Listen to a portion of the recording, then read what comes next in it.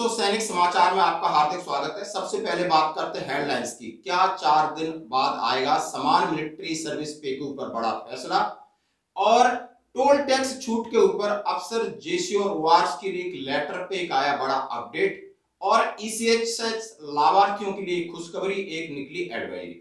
खबरें देखते हैं विस्तार से। सबसे पहले बात करते हैं चार दिन बाद, यानी 19 अप्रैल को माननीय कोर्ट के अंदर, यानी हाई कोर्ट दिल्ली के अंदर हमारे मिलिट्री सर्विस पे के ऊपर एक सुनवाई है जो होनी है दोस्तों।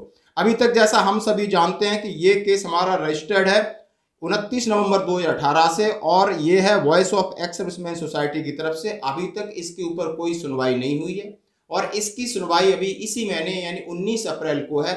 हम उम्मीद करते हैं, आशा करते हैं कि इसके ऊपर सुनवाई हो और इसके ऊपर एक अच्छा वर्डिक्ट आए, जिसका इंतज़ार हमारे लाखों पेंशनर्स और सर्विसमैन कर रहे हैं।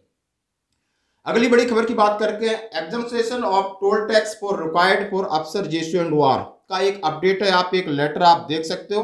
और ये लेटर लिखा है, केंद्रीय सैनिक बोर्ड मिनिस्ट्री ऑफ़ डिफेंस ने लिखा है। और लिखा है एडिशनल डायरेक्टर ऑफ़ डायरेक्टरेट सैनिक कल्याण के लिए कि exemption of toll tax for retired officers JCO and OR equivalent in respect of army navy and air force इन्होंने इसका जवाब दे दिया है। इन्होंने लिखा है it is intimate that case of exemption of toll tax for ESM already has been taken of ministry of defence in sector wise यानी ये केस ऑलरेडी टेकअप था, लेकिन क्या किया है? Not agreed by the ministry of road transport and highway यानी जो आपका रोड ट्रांसपोर्ट एंड हाईवे मंत्रालय ने, ये बिल्कुल डिसएग्री कर दिया है कि आपका एग्जंक्शन ऑफ़ टोल टैक्स है, वो माफ़ एग्जंक्शन नहीं होगा। यानी आपको फास्टैग के ज़रिए या किसी न किसी ज़रिए आपको टोल टैक्स देना होगा दोस्तों। एक और बड़ी खबर की बात करते हैं दोस्तों, जिसमें लिखा है कि ईसीएचएस लाभार्थी, जो कि आपने देखा होगा, हमारे बहुत सारे ईसीएचएस जो है, उनके लिए एक एडमिशन यानी हॉस्पिटल में यदि वो एडमिट होते तो उनके लिए कितने दिन का अप्रूवल कौन दे सकता है? इसके ऊपर निकला है।